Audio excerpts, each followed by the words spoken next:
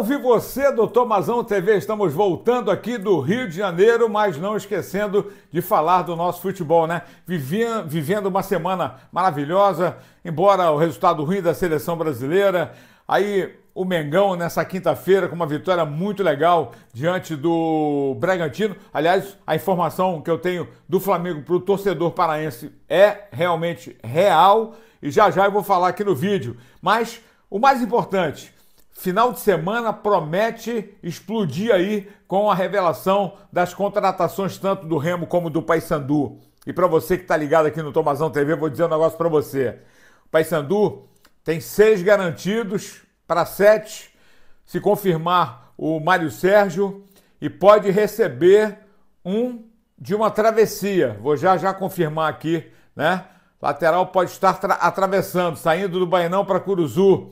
O Remo confirmou o analista de mercado. Papelim já deu a sua primeira declaração como é, executivo. Tudo isso e muito mais aqui no nosso Tomazão TV, mas não esquece, por favor, vai aqui no botãozinho, assina o canal, tá? E ó, like. Quanto mais like, melhor, para dar uma valorizada aqui no nosso canal. Hoje a gente tem algumas boas notícias aqui para você, com certeza. E uma listagem de especulações aqui, é, começando com o Remo, que descartou, né? O Muriqui, o Show acertou com o Ipiranga de Erechim. O Diego Ivo dificilmente vai ficar, já estava praticamente acertado, mas com a chegada do Papelim a coisa muda, né? O, o Papelim, ele no projeto do Remo, junto com o Catalá e com o Rafael Silva na lista de mercado chegando, vão subir aí é, jogadores com mais idade, né? E o Muriqui só não ficou porque parece que falou bobagem num podcast aí e a diretoria não gostou e acabou descartando o Muriqui, que parece que vai até se aposentar, tá?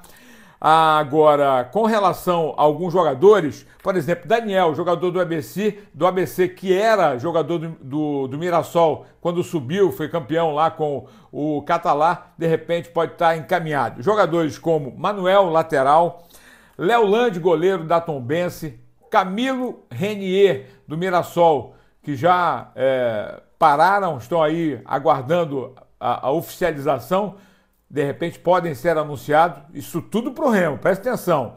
Ícaro, zagueiro que era do Remo, foi para o Sampaio e está indo muito bem lá, mas encerra a participação agora nesse final de semana, última rodada da Série B. O Adalto, meio-campo, que jogou no Águia, foi campeão, estava no Santa Rosa, subiu com o Santa Rosa, parece que fechou com o Remo. Pode anotar aí. E também Pavani da Chapecoense além do Salatiel, que está sem clube desde agosto, que não acertou a ida para o exterior porque não passou no exame médico. Agora, se não passou lá, vai passar aqui. O Remo tem certo Vinícius, Curuá e Ronald, tá? São esses aí os nomes certos no Baianão e a partir daí contratações e devem ser é, anunciadas a partir desse domingo. O mesmo acontece com o Paysandu. O Paysandu tem o Matheus Nogueira, o Vinícius Leite, o João Vieira, o Roger Robinho Wanderson e Edilson já praticamente acertados para continuar, sem contar os, os, garotos da base. Aliás, eu não falei dos garotos da base do Remo, e falo também do Paysandu que deverão ser aproveitados. Agora, o Nicolas, ele quer jogar de volta no Paysandu, mas depende da negociação com o Ceará, que também encerra na Série B a sua participação nesse final de semana. Então, a partir de domingo, aguardem que vem aí um caminhão de informações de jogadores contratados. E para fechar o vídeo, para mim é a principal notícia. Olha, o Remo tinha negociação com o, o Muriqui, fechou, não foi, foi embora. Aí o Show foi embora. O Diego Ivo está indo embora. Aí faltava o Evandro, daqueles jogadores que estavam no elenco com o Catalá, que chegou, foi muito bem, cresceu demais jogando no Remo, ajudou bastante o Remo na disputa da Série C, estava totalmente acertado e praticamente é, com um contrato apalavrado com o Remo para jogar a temporada 2024. Recebeu uma proposta da portuguesa, mas a portuguesa vai jogar só o Carioca. E aí? Será que vale a pena? E aí ele pediu mais alto através do seu empresário, o Remo não aceitou, o Evandro foi descartado. Mas anota aí, A travessia é um, uma quadra, tá?